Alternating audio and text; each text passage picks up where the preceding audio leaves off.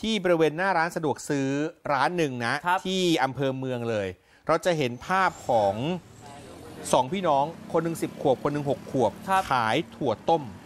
แล้วคนก็จะอุดหนุนเด็กอะเด็ก10ขวบมาขายของอะน้องทามอายุ6ขวบ น้องทอยอายุ10ขวบ ช่วยคุณย่าขายทุกวันครับครับแล้วขายมานานแล้วด้วยนะ น้องบอกไม่เหนื่อย ไม่เหนื่อยมาทำเป็นประจำอยู่แล้ว ส่วนย่าบอกว่าเด็กเนี่ยมาอยู่กับย่าปีกว่าๆแล้ว เพราะว่า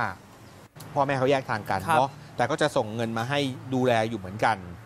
เอ่อเปิดเทอมคุณว่าคุณย่าบอกช่วงเปิดเทอมขายไม่ค่อยดีครับ แต่ว่าพอหลานสองคนมาช่วยเนี่ยกลายเป็นว่า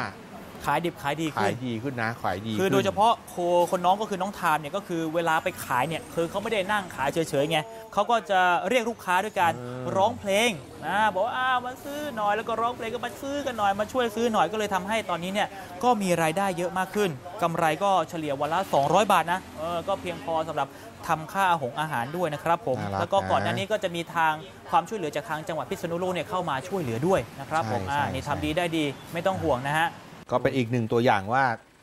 ต่อสู้เนาะต่อสู้ ดีนะสมัยนี้มีสื่อนะคุณสุพลใช่เมื่อก่อนน้องทามร้องเพลงแล้วก็ทำให้ขายของดีขึ้นแต่ถ้าคุณพัฒนายขายของอย่าร้องเพลง ผมว่าแล้วเมื่อก่อนตอนเด็กๆคุณโสพลคุณผมไม่เคยเล่าให้ใครฟังเมื่อก่อนตอนคุณเด็กไม่เคยเล่าเหรอๆไม่เคยเล่า ไม่ต้องเล่าเบรกก่อนดีกว่าครับเพราะว่าเวลาไม่มีให้เล่าแล้วจริงๆ